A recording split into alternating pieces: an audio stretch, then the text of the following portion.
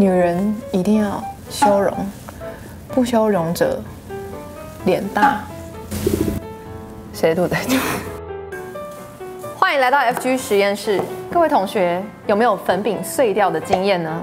我们今天就是要来教大家如何修复你的碎掉的彩妆品，当然就是准备一个碎到不能再碎、烂到不能再烂的粉饼一颗，干净的夹链袋。第三个要准备的是干净的刮勺，那它只要是扁状的、金属的也可以。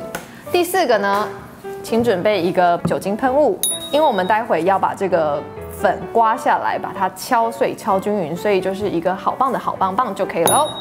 各位同学，上课要认真听。第一步骤就是把这个粉全部倒到夹链袋里面。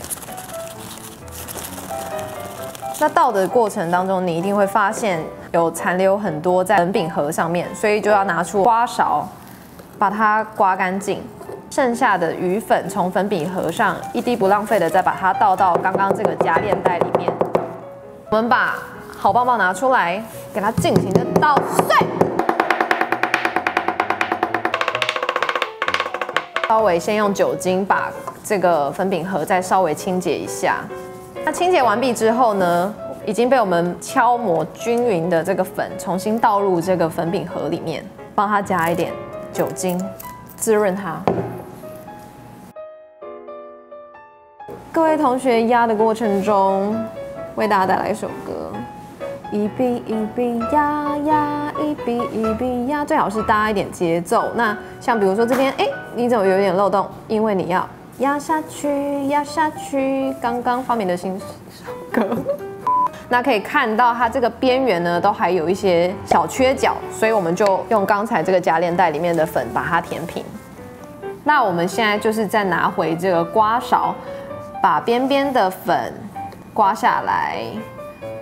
那你们也可以像我一样，把这个粉再刮回到这个粉盒里面，然后直接用这个刮勺把边边铺平。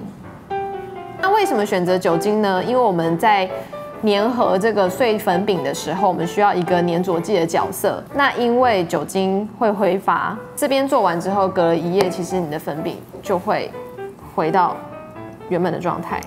经过铸造的妙手回春，它现在非常的平整。那因为我们刚刚喷了酒精，所以我们静置一宿，就是给它一个晚上的时间，让这个酒精挥发。我们明天来看看成果如何。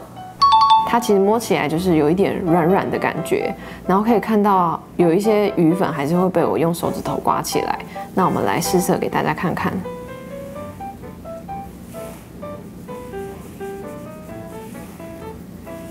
基本上颜色还是跟当初买来的时候一样很漂亮。我觉得差异就是在于它没有像一开始那么的扎实。女人一定要修容，不修容者脸大。谁肚子在？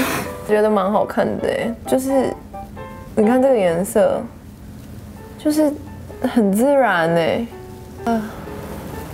太小了，太小了，好自然呢，好自然，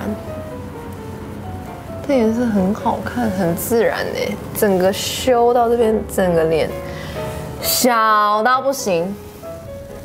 然后顺便教大家修容，如果你想要小脸的话，这边也一定要有一个 V 字形在这个地方。然后我会顺着这个下面，怎么会修到耳垂呀？